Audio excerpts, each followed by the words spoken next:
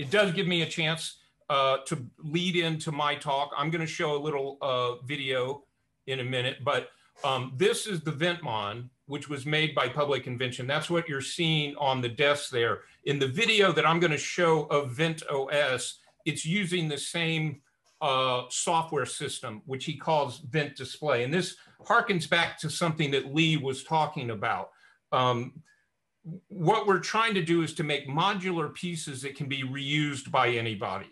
Um, so there are two Ventmons being used by uh, a, a, team in India right now, and there are other Ventmons in different parts of the world which are being used for this purpose, not clinical purposes, but to test these um, uh, these these experimental um, ventilators.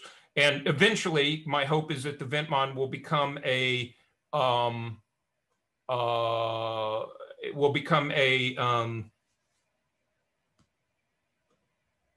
clinical tool. So um, let me now uh, share my screen and show the VentOS software. We seem to be right on time. In 10 minutes, the oxygen concentrator uh, session is going to begin, which should be a lot of fun. Uh, we, we have a, a, lot of very interesting people speaking there. Oh, I always forget to click the sound button when I share this, forgive me. Uh,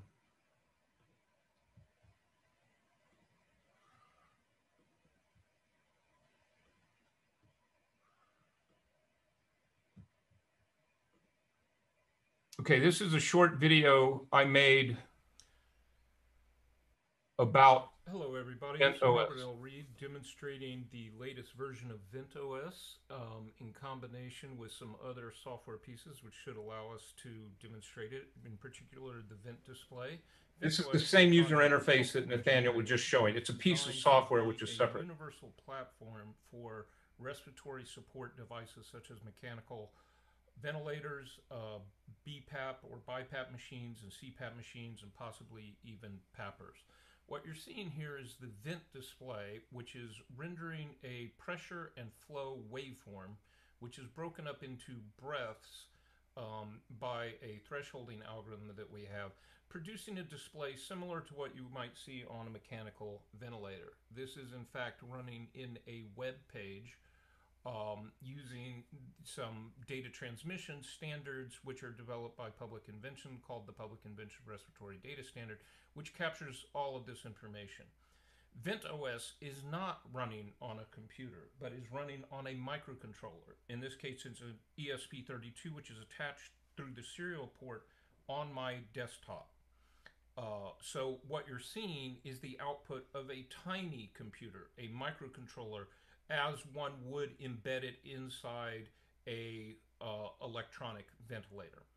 Uh, what we've done here is modify the vent display software to allow certain controls uh, of the simulated ventilator to be controlled. And so I'm going to send those to the machine right now.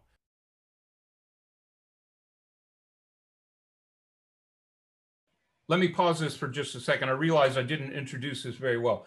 VentOS originally stood for Ventilation Operating System it's not really an operating system, but it is meant to be a platform that runs on a microcontroller, which can drive any number of ventilation architectures. So the idea is that the VentOS software will eventually drive the Polyvent machine. And in theory, it could drive Darren Lewis's Open Vent Bristol machine as well.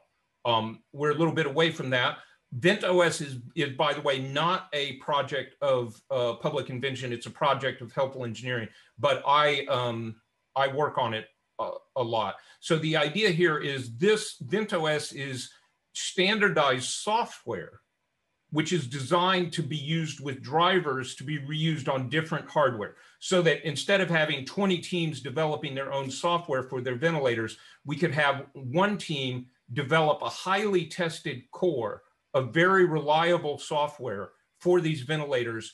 Um, and then, of course, each machine would require a driver for the specific motors and valves and, and so forth that it uses.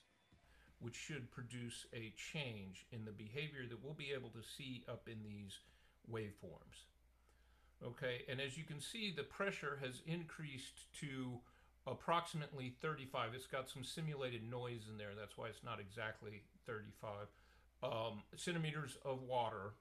And the flow has changed as well to reach a tidal volume, uh, a default tidal volume in this case, of 350 milliliters. Um, of course, it changes a little bit as each breath goes through there. Now I'm going to increase the um, tidal volume to 800, which would be a very, very high uh, tidal volume. That's for a large adult male. And um, in doing that, the flow had to increase in order to get the um, uh, total volume to equal 800 milliliters in the relatively short time that we have. Now we can change the um, exhalation to inhalation ratio to something closer to one down here with these controls and send that to the simulation. And that will make the waveform a little bit uh, uh, more even. You can see here the pressure wave now has the same inhalation period where pressure is being applied to the exhalation period, which drops to the so-called PEEP pressure of five centimeters of water, uh, although it goes all the way up to 35 at the inspiration time. So let us suppose that we needed to increase the inspiration pressure just a little bit. I can do that and we'll be able to see it come out here. Now the pressure has increased just a little bit and I can, for example, increase the respiratory rate which will make it go faster, but will make each breath necessarily be shorter. You can see the inhalation time has gotten shorter. Now, this would be much more impressive if it were using an actual hardware machine that was actually blowing air into a test lung. That is, in fact, the purpose of VentOS, but right now we're doing this in simulation.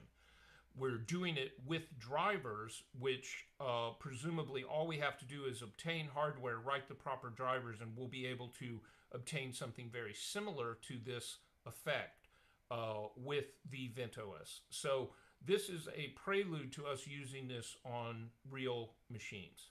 Thank you for your attention.